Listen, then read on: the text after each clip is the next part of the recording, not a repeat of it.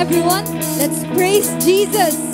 Jesus, who is like a lion, who is so powerful and mighty, and the Lamb who was slain for our sins, for our sins and for us to be saved from death.